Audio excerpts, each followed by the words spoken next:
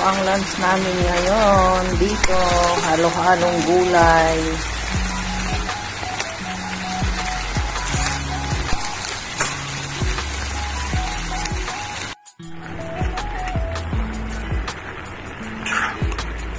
Ayan, malapit na siya maluto. Iuhuli na lang natin yung uh, coconut powder niya, mga kapatid. Ayan. Simpleng ulam, simpleng gulay.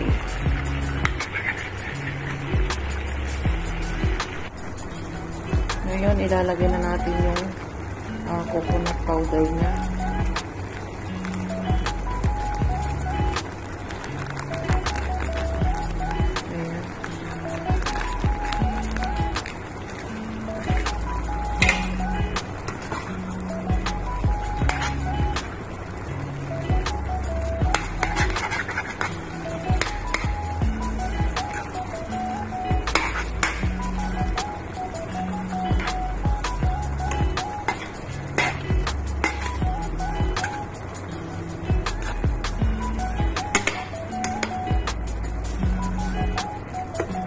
Mga kapatid, pwede na pwede nang hanguin at pwede na tayong kumain.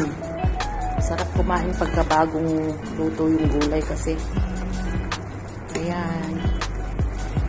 Ayan na mga kapatid, ready to eat na.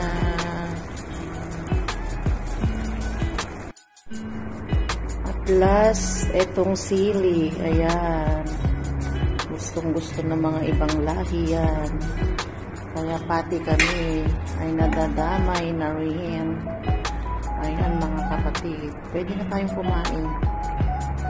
Asan na kayo mga kapatid? Kain na tayo. Ayan ang lunch namin dito sa compound.